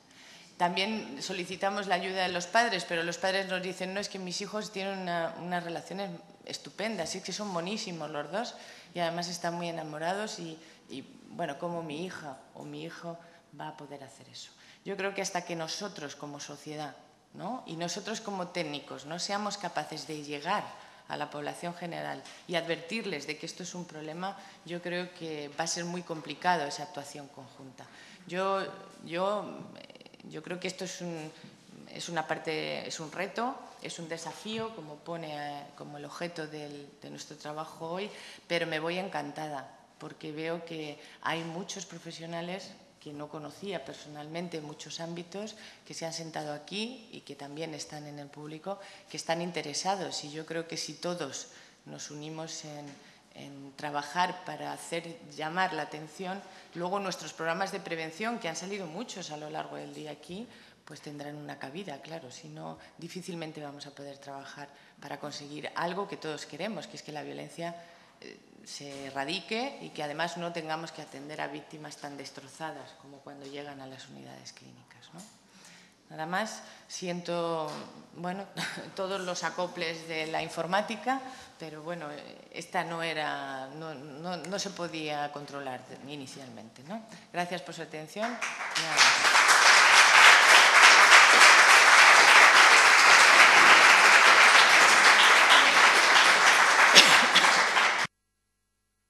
Muy bien. Bueno. Pues disponemos eh, todavía de unos minutos, de unos 10 minutos aproximadamente, para proceder a un coloquio antes de pasar a la última fase, que la tendríamos en el, teatro principal, pues para dialogar sobre cualquiera de las dos intervenciones eh, que han tenido lugar en este momento. Así que quien quiera, pues tiene la palabra para poder intervenir.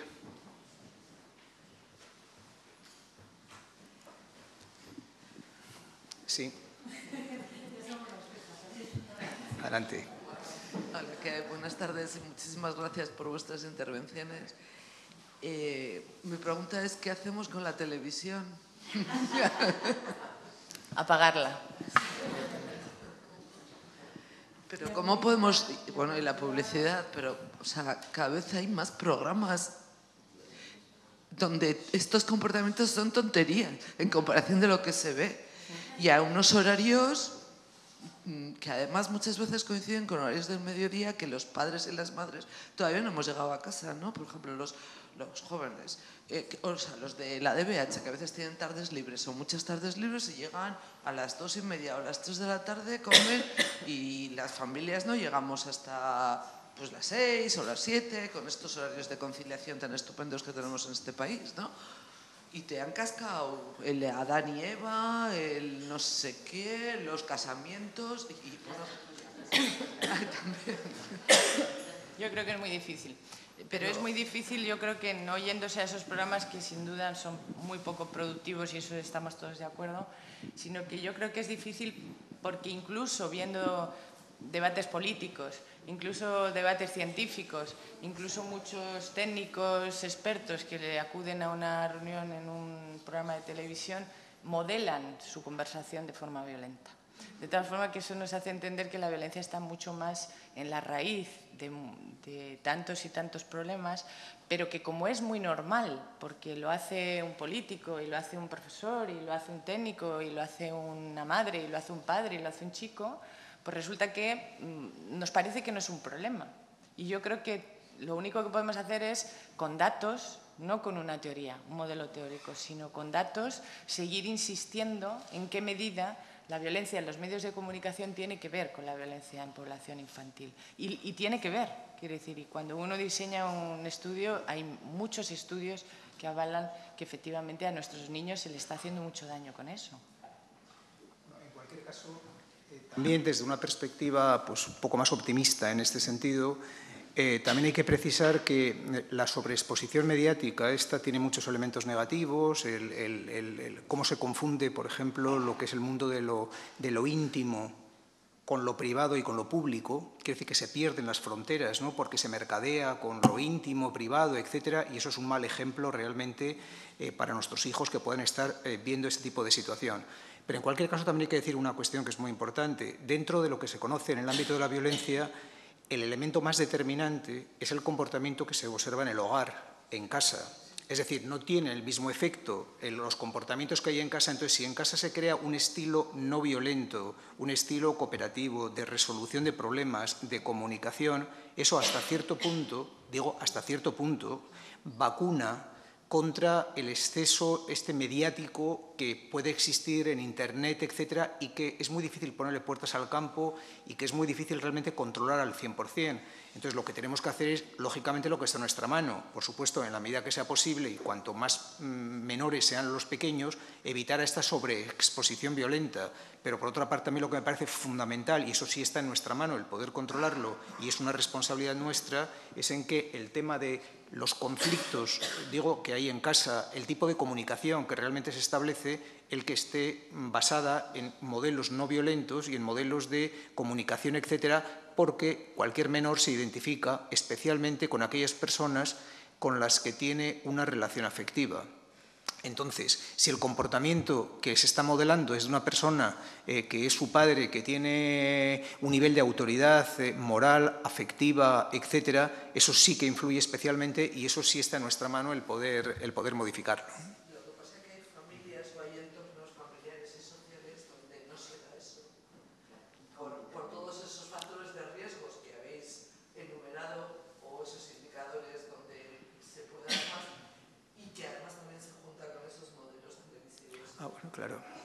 Claro, sí, por desgracia, pues existen a veces circunstancias muy complicadas, pero me refiero que siempre creo que hay que utilizar ese mensaje positivo en lo posible de intentar controlar aquellas variables que están a nuestro alcance.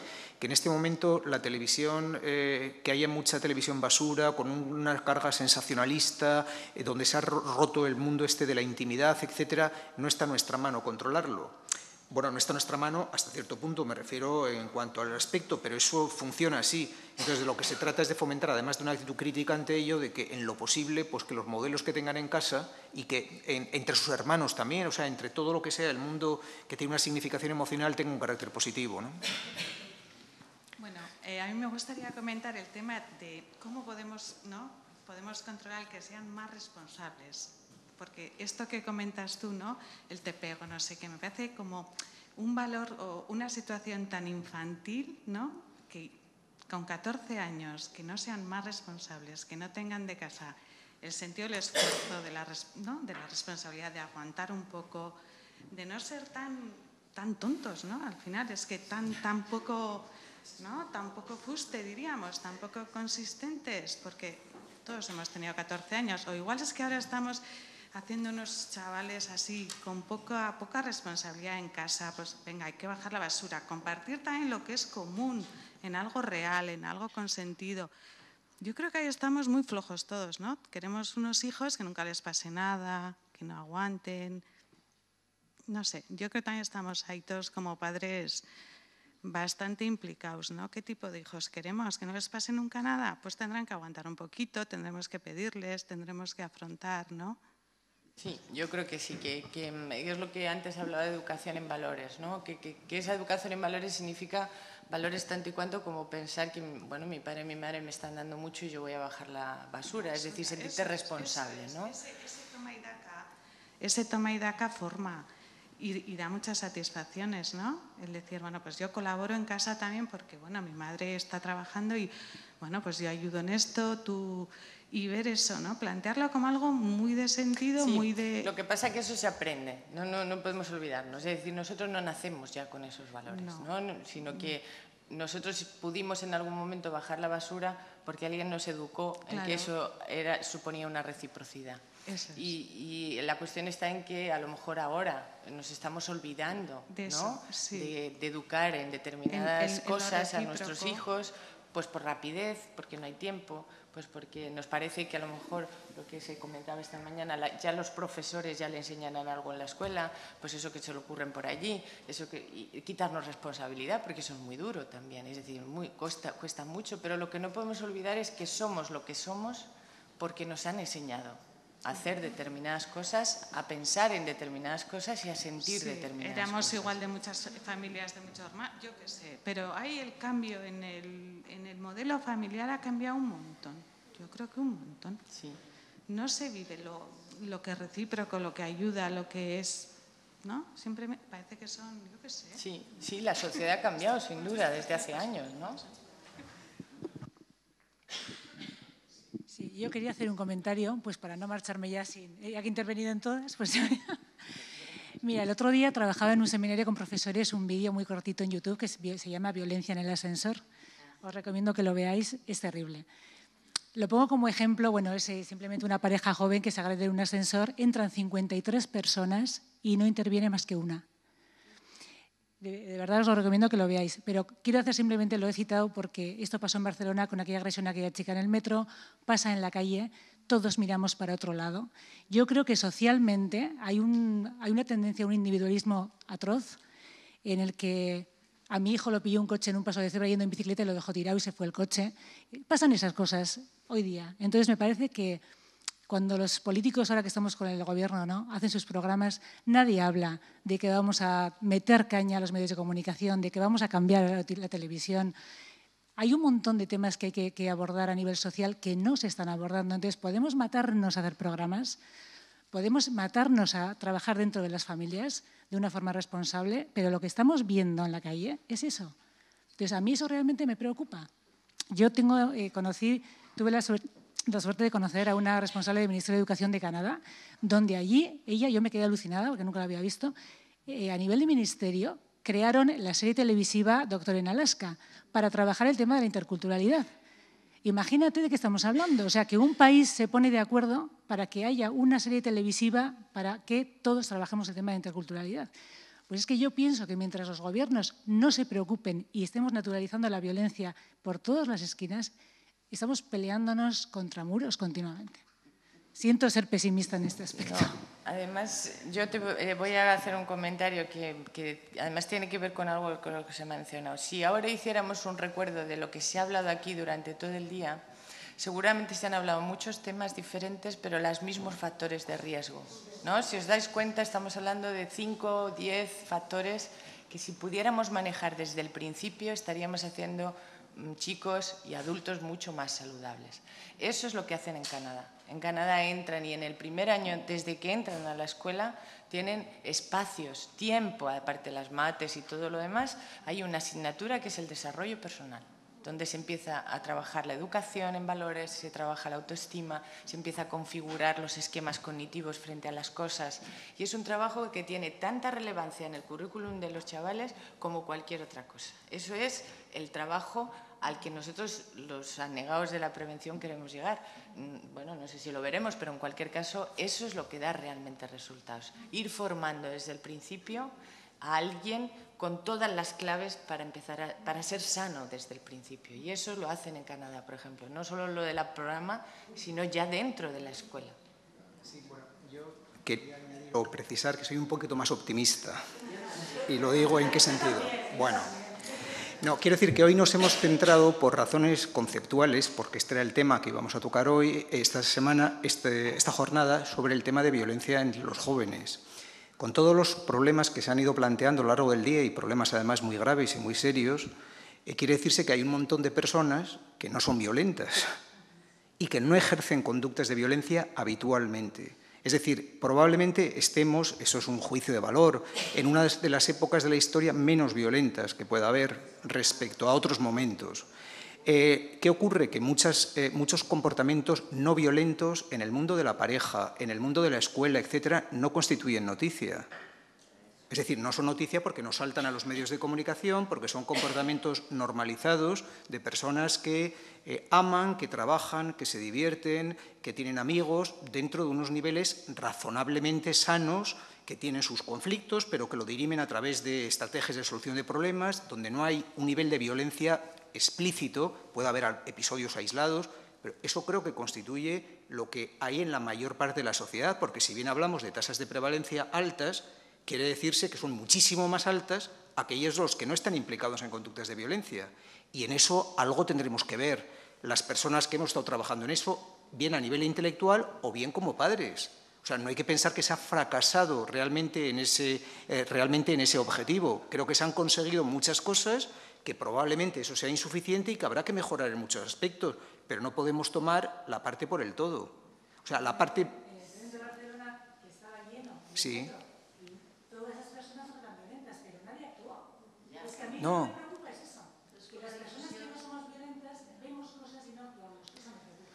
Pero, a ver, yo también quiero ser optimista como Enrique. Eh, eh, no, no, no eres negativa. Sí, pero terminemos, sí. Creo que hay algo también que se nos ha olvidado y que eh, pertenece a nuestro país, la violencia terrorista. Hoy hemos podido hablar como hemos podido hablar porque se ha terminado la violencia terrorista. Yo no sé si podíamos haber hablado, claro que trabajábamos todos unos y otros para que eso también ¿eh? desapareciera. Pero nos podemos acordar, los que llevamos años trabajando, lo difícil que era intervenir con estos temas en la escuela, en la sociedad, en los bares, en la calle, hace todavía cinco, seis, siete años, porque aquí teníamos un problema enorme que era la violencia terrorista. Y creo que, yo creo que hemos avanzado y me pareció estas jornadas magníficas y creo que es la primera vez que me siento tan en libertad de hablar de estos temas en este país. Muy bien. Muchas gracias. Muchas gracias. Bueno.